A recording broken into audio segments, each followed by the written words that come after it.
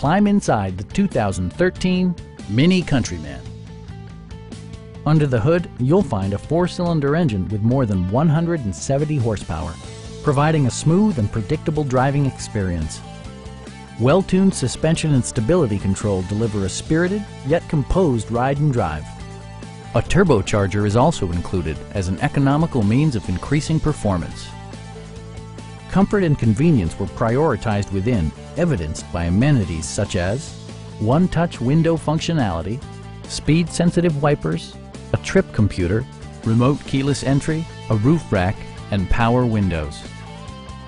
In the event of a rollover collision, side curtain airbags provide additional protection for outboard seated passengers.